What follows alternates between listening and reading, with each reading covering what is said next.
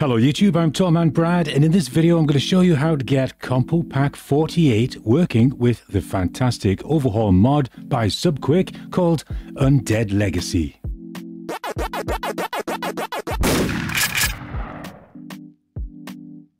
Before we get started, I'd just like to point out that I'm going to be using my original Steam installation of uh, 7 Days to Die to install the mod and Compo Pack. A lot of people quite like having a separate version, so you could have a vanilla version of 7 Days to Die on your hard drive and also a modded with Undead Legacy version or whatever it may be. It's pretty straightforward to do. If you wanted to do a separate version, you'll just need to navigate to your Steam Apps Common, find your 7 Days to Die folder, right click and copy it then find somewhere else on your hard drive to put it. So for example, you could make another folder called Undead Legacy, and inside of there, right click and paste your original 7 Days to Die installation. Then you could put all of the files I'm about to show you into this directory. But I'm not going to do that in this video, I'm going to use the version that was installed by Steam. Okay, to get this to work, you're going to need to download two files. Now, obviously, you need 7 Days to Die installed, and ideally, a fresh, cleaned install would be great just to make sure that there are no problems introduced before you even get started. I'd recommend clearing out your mods folder. You can always add other mods later if they are compatible with Undead Legacy. So first we'll visit ul.subquake.com. The link's in the description. That'll take us to the official Undead Legacy webpage. A lovely page it is as well. And if we go to download on the left hand side, click on that, you can see here, there are the two versions that we can download. One of them is a stable version, and the next one there is the experimental. As it happens, they're both the same. I would recommend downloading stable. So we'll click on download latest stable, and in the bottom left, it'll start downloading. Now this may take a little while because it's quite a big file, but it's worth waiting for. Okay, while that's downloading, let's move over to downloading the specific Compo Pack 48 files that we need for Undead Legacy. Now, they are different to the standard CP48, so let me show you where to find those. You can either go to the Magoli's Compo Pack Discord page, and in the download section, you'll see a section here called CP Undead Legacy Download. And here we are. This is the version you need to download. Now, I'll also put a link to this in the description.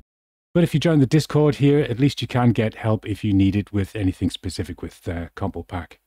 So let's click on the link there and on the page where it's hosted here, we can see a section that says download now. We'll click on that. We get a little pop up there. We just give it a moment to start downloading and there it goes. And that will also just take a minute or two. And while it's downloading, let's just have a quick look at the instructions for installing Undead Legacy. If I click on the arrow at the side here, Look how simple this is. That is the sum total of the instructions and it is all you need. We'll see this in a moment, but the contents of the zip file that we are downloading contains these files and folders, and the ones in blue there are the ones that we need to highlight and drag into our Steam, Steam Apps Common 7 Days to Die directory. So here's my downloads folder, and there are the two files that I've just downloaded. There's the Undead Legacy one, and here's the Compo Pack one, specifically for Undead Legacy. Now notice that the icons are different, and that's because I've got 7-zip installed. Now that's my decompression tool of choice. You use whatever you like, but I think you actually might need 7-zip to unzip uh, the 7Z files. Uh, it doesn't have nags the same way that WinRAR or WinZip does, so I can highly recommend using that. So if we follow the instructions from the Subquake Undead Legacy page, you can see we need the BepInEx doorstop libs mods, doorstop config, and WinHTTP files. So I'm going to find those, highlight them, and drag them into that folder. So I'll open that up, open up the file that's inside of the zip. There we are. Bepin, I'm holding down control, doorstop, mods, doorstop, and WinHTTP. I'm in Steam, Steam Apps, Common, 7 Days to Die, and you can see the other folders that are in there. And I'm just going to drag them into this bottom area down here, not into the top, so it doesn't accidentally go into one of these folders. Let that get on. So now we've got Undead Legacy installed. By all means, go ahead and start it up and see if you get the Undead Legacy menu screen and you know that things are working okay. But now we want to get the Compo Pack files installed in the right place as well. So let's open up the 7Z file. I'm just going to double click on that. And because I've got 7-zip installed, it's used that to open it. And inside of there, we'll see this folder that says Undead Legacy. Inside of that, we've got three folders. and some handy little instructions. Let's have a quick look at those instructions. First of all, it's saying step one to open up the CP Undead Legacy prefabs folder. So if we do that, open that up, and then drag all the contents into your game prefab folder. So this is where we've got Undead Legacy installed. The prefab folder in 7 Days to Die is in the data folder. So we're into Steam Apps Common, 7 Days to Die, data, prefabs. And inside of there, you'll see, normally you would just see the four folders. You want to highlight all of these I'm just going to do shift and click, or you could do control A, grab a hold of it, drag it over into this prefabs folder. So I'm going to drag it down the bottom here, not over the top of one of these and make a mess. Drag that there and it'll take a couple of seconds to copy everything over. Now, just to confuse things, I'm going to skip step two and come back to it in a moment because step three involves this same folder. In this one, it says open the add contents to game prefabs POIs folder. If we go back here we can see, there it is, add contents to prefabs folder.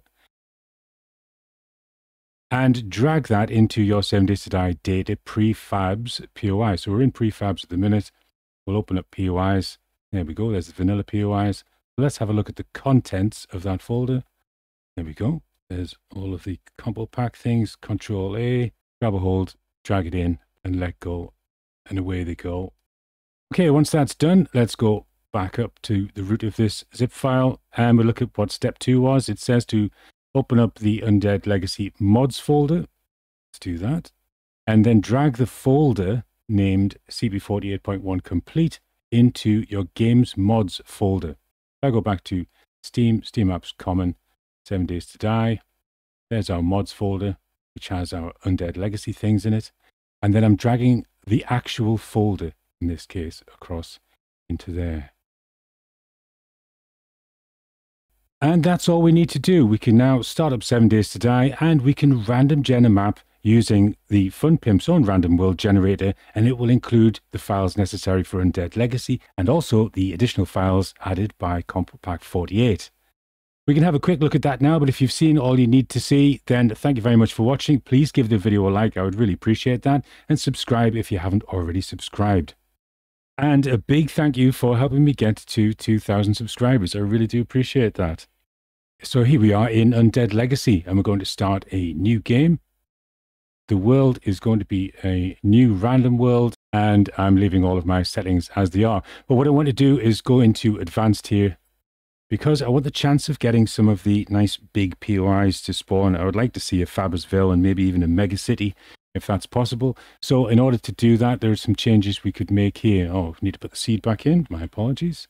So towns I'll leave at default. It's not so much the amount of towns that gives us the chance, it's the space that they have to uh, spawn in that gives us the chance of getting the mega city and what have you. So I'm leaving that at default. The POI is at default. I'm going to reduce the rivers to few. The craters I don't want, or the cracks. The lakes I'll put down to few. Plains are where a lot of the cities will spawn. Hills get in the way. Mountains also get in the way, but they look good, so I'm leaving a few in. Then I'm going to hit generate and see what we get. Well, here we are several minutes later. Now the fun pimp said, oh, three minutes and 20 seconds to make the map. It actually took about 20 minutes. There was a long pause after it had finished generating the map before this screen appears, and then even longer while it drew all those little squares in. So don't panic if it looks like your game has frozen while you're doing this. It is just par for the course, I'm afraid. Uh, I'm, I'm quite pleased with that. It's a 6K map. There's a huge city there, and I could already see the skyscrapers from the shadows. There's a couple of other decent sized ones and some other very interesting things going on. And I'm quite excited to have a look at it. What I'm not excited about though is these biomes. They are absolutely horrendous, aren't they? If you'd like to fix that, there is a video on my channel showing you exactly how to do that. I think there's more than one video on that subject, to be honest with you. There are also videos on some other tools that are very useful and even a website where you can drop your map to have a better preview of it and even find out exactly which buildings are on it before you've even loaded it up. So have a check out of my channel, in particular the map making playlist. And while you're there, why not like a few videos and subscribe as well. Bye bye.